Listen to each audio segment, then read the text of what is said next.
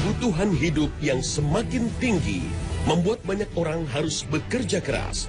Sementara bagi sebagian orang bekerja keras juga menjadi tuntutan untuk mendapatkan karir yang cemerlang.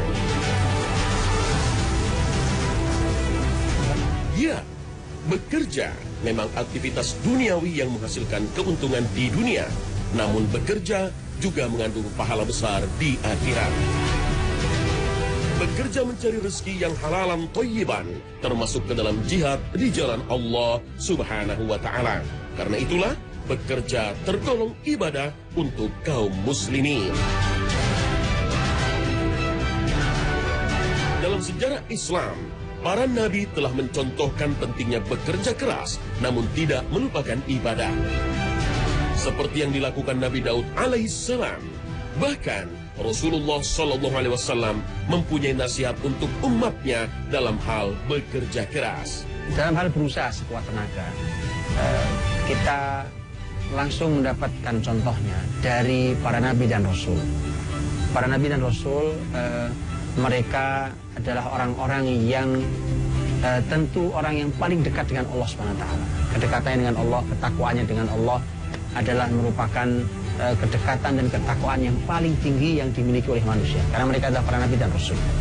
Tetapi dengan semua tawakal mereka, keimanan mereka, ketakwaan mereka, tapi ternyata mereka juga masih mencari nafkah untuk kehidupan mereka. Dan begitulah orang beriman.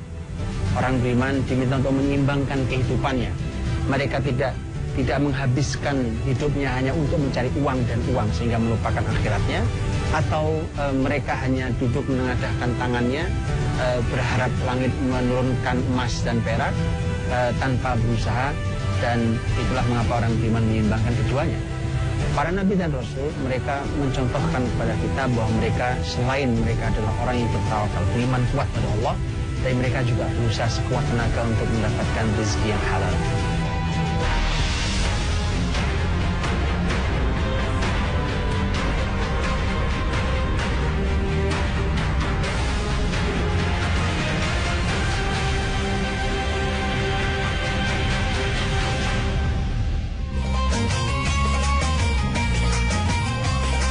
Assalamualaikum warahmatullahi wabarakatuh. Selamat pagi pemirsa dan generasi muda Islam yang dirahmati Allah Subhanahu wa taala. Pagi ini Khalifah kembali menghadirkan kepada Anda kisah dan hikmah kehidupan yang terangkum dalam kekayaan sejarah Islam. Allah Ta'ala berfirman dalam surat At-Taubah ayat 105.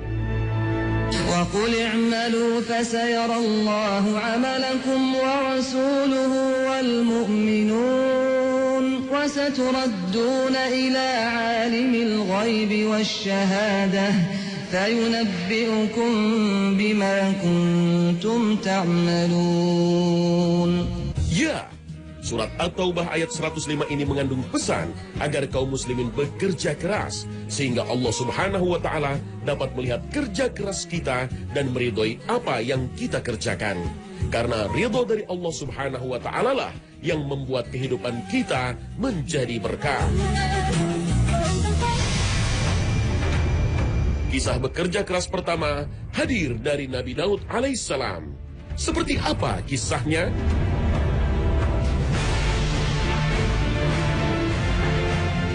Tidak hanya bergelar nabi, ia juga seorang raja dari Bani Israel. Ya, sebelum menjadi raja, Nabi Daud alaihissalam merupakan seorang prajurit. Bersama Raja Tolut, ia berperang melawan Jalut.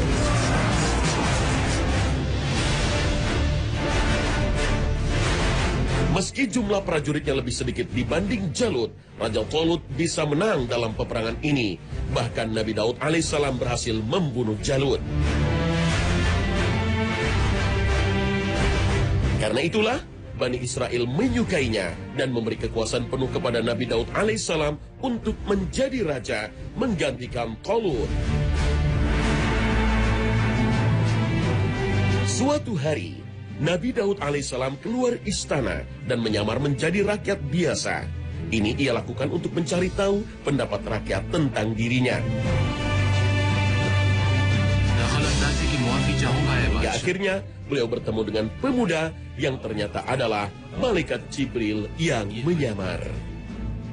Jibril saat itu eh, datang dan hadir dengan dengan eh, wajah seorang anak muda. Kemudian Daud di, ditanya, ditanya oleh eh, oleh anak muda itu eh, atau anak, eh, Daud bertanya pada anak muda itu, kata Daud, bagaimana menurutmu tentang Daud? Jadi dia ingin tahu tentang dirinya.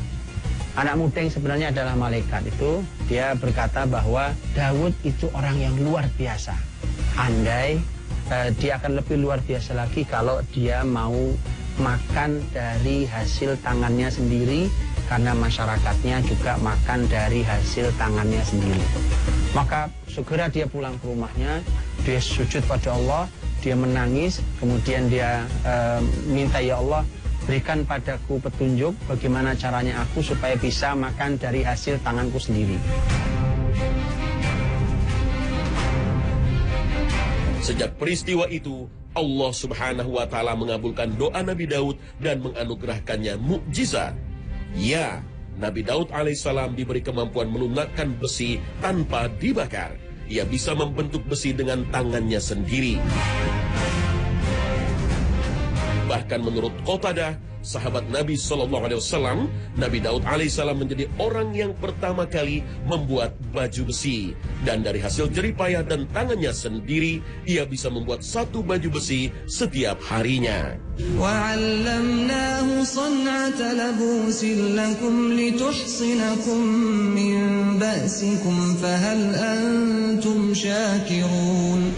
Ya, Nabi Daud alaihissalam telah memanfaatkan mukjizat dari Allah Ta'ala untuk bekerja keras, menafkahi dirinya dan keluarganya.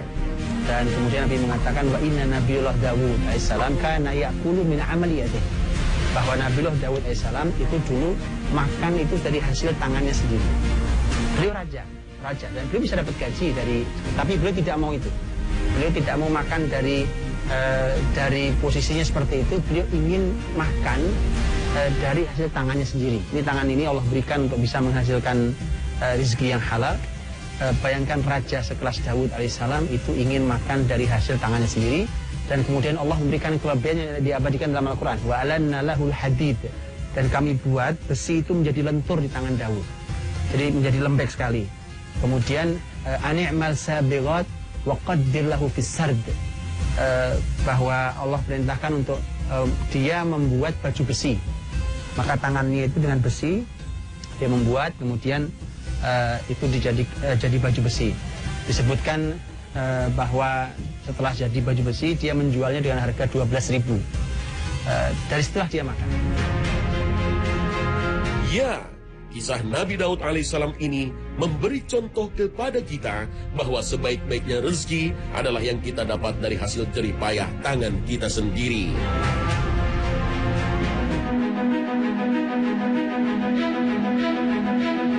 Suatu hari, Rasulullah Shallallahu Alaihi Wasallam berjalan bersama sahabatnya. Kemudian mereka bertemu dengan seorang laki-laki. Laki-laki tersebut terkenal sebagai pekerja keras yang giat dan tangkas. Lalu para sahabat berkata, Wahai Rasulullah, alangkah baiknya jika tenaga dan semangat orang itu digunakan untuk berjihad, bukan bekerja. maka Nabi Muhammad SAW mengatakan jangan berkata begitu karena kalau dia keluar mencari nafkah untuk membiayai hidup anak-anaknya yang masih kecil maka dia bisa berilah kalau dia keluar untuk membiayai hidup orang tuanya kedua orang tuanya yang sudah tua itu visabilillah kalau dia keluar untuk mencukupi dirinya sehingga dia tidak perlu minta-minta maka itu dia visabilillah tapi kalau dia keluar mencari nafkah hanya untuk bangga-banggaan maka dia ada di jalan setan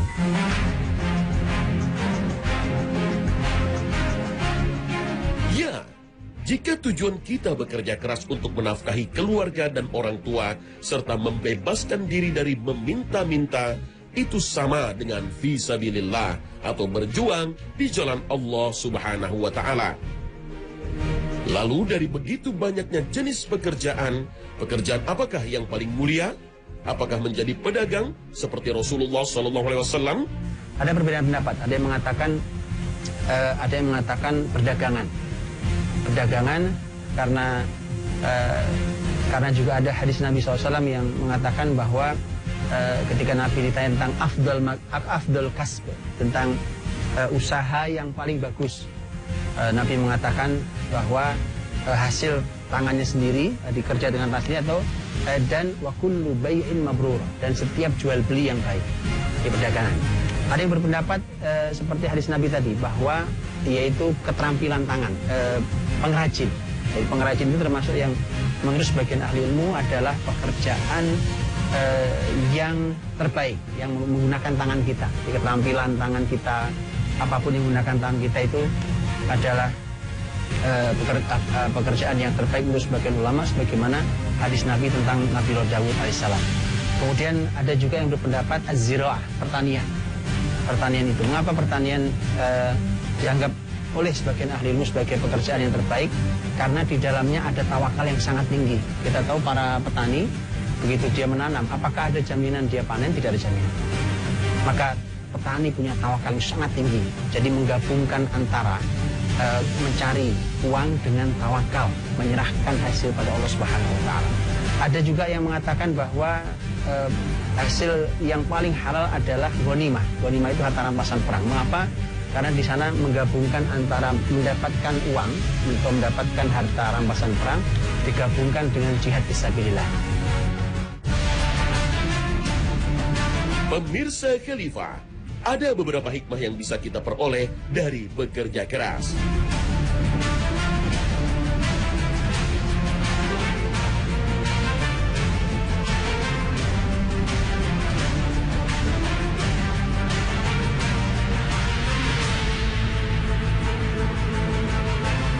Pertama, menjaga kehormatan dan kemuliaan diri. Ya, salah satu keutamaan Islam menganjurkan bekerja adalah untuk menjaga kehormatan muslimin. Islam tidak mengajarkan kita untuk mencari harta dengan meminta-minta atau mengemis.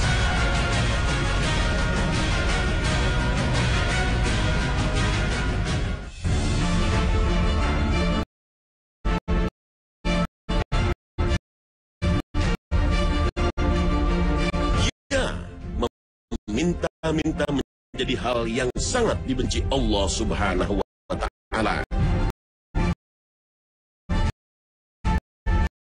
Dari Mughirah bin Syu'bah berkata, Aku mendengar Rasulullah sallallahu alaihi wasallam bersabda, sesungguhnya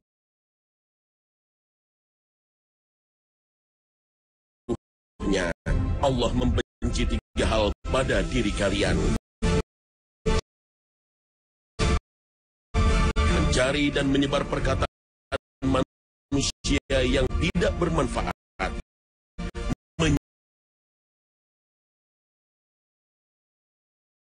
Menyanyiakan harta. Banyak meminta-minta. Muttafaqun alaih.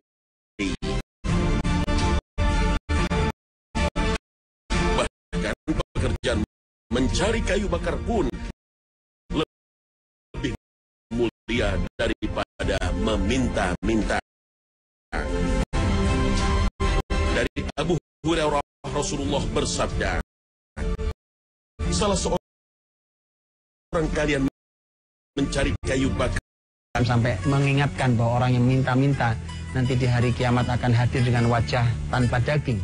Eh, artinya sebuah sebuah peringatan dan ancaman dilarang minta-minta. Dan di situlah maka eh, ternyata orang beriman ketika dia berusaha mencari harta yang halal dengan tujuan yang baik dan benar untuk menafkahi orang-orang yang menjadi eh, tanggung jawabnya, maka dia mendapatkan pahala dan terhitung fisabilillah. Kedua, bekerja keras tidak mengganggu waktu ibadah. Kebutuhan dunia dan akhirat harus seimbang. Dan mari kita lihat juga bahwa eh, bagaimana dalam Islam keseimbangan itu. Karena kalau kita eh, melihat bahwa ada orang yang menghabiskan usianya, waktunya hanya untuk mencari uang dan uang, itu adalah sebuah kesalahan. Apalagi kalau sampai dia menggeser akhiratnya. Adalah firman Allah umpamanya, rijalul la tijarah wala bai' an dzikrillahi wa iqamis salati wa ita'iz zakah dalam surah An-Nur ayat 37 bahwa para kaum laki-laki yang tidak dilalaikan oleh bisnis dan perdagangannya dari zikir pada Allah, dari sholat, dari membayar zakat. Artinya bahwa tidak boleh itu menggeser dunianya. Beramal, e, bekerja, tapi dia tetap harus beramal soleh e, dengan melaksanakan e, tugas-tugas akhiratnya. Atau seseorang yang hanya menengadahkan tangan ke langit, kemudian ya, meminta pada ya Allah berikan rezeki, kau yang maha pemberi rezeki, tapi tidak pernah berusaha, nah itu salah karena di dunia ini Allah menciptakannya dengan sunatullah, di antaranya adalah uh, hukum sebab akibat. Kalau anda ingin mendapatkan uang maka berusahalah. Uh, anda tidak boleh hanya duduk uh, untuk untuk hanya sekedar meminta pada Allah dan tidak pernah berusaha. Makanya uh, lihat keseimbangan yang ada di dalam surat Al-Jumu'ah ketika di sana kalau hari Jumat itu ada dua hal sekaligus yaitu amal akhirat dan amal dunia amal akhirat dan mencari harta. Ini orang beriman. Ini adalah kaidah dasar orang beriman. Lihat ketika Allah berfirman ya ayyuhalladzina amanu idza nudiya lis-salati min yaumil jumu'ati fas'au ila dzikrillah wa dzarul bai' wahai orang-orang beriman uh, kalau sudah dipanggil untuk sholat Jumat maka segera dia harus bersegera. Bersegera untuk memenuhi zikir kepada Allah SWT di hari Jumat, beribadah hari Jumat. Dan tinggalkan jual beli. Urusan dunia singkirkan. Karena sudah waktunya dipanggil Allah di hari Jumat, maka segera kita penuhi panggilan akhirat ini.